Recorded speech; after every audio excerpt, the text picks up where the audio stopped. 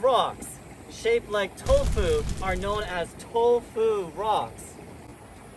OK，这些石头它的形状就像豆腐一样，所以它的名称就叫做豆腐岩。They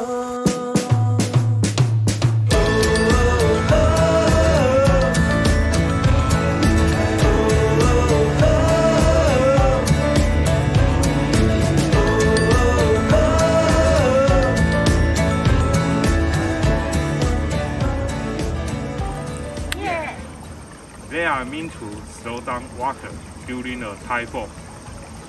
石头岩用于在台风来的时候减速水流的速度。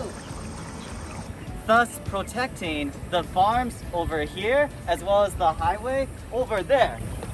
因此，保护了这边的农田跟这边的高速公路。That's why these tofu rock formations are all over Taiwan. 这就是为什么豆腐岩在台湾各个地方能够形成。严格来说，这边到处都是豆腐岩。Seriously, they are everywhere. 因为它们共同作用以减缓水流，并保护重要结构，比如电线。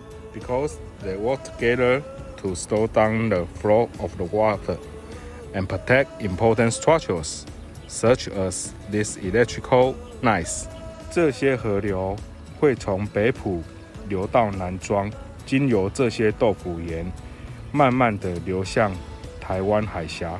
This river travels from Beipu and Nanzhuang through these rocks to the Taiwan Strait slowly. Oh. 它非常漂亮，就像万角的苗栗。It's also very, very beautiful as it curves around Bay Point, Miaoli. Hi! Hey! Hi! It also makes for great hiking trails. 因此，它形成了一个很好的践行路径，as well as a place to relax. 这个地方也非常适合放松。Next time you are near a river, be sure to take a look for tofu rocks. 如果你住在河流，可以来拓普岩看一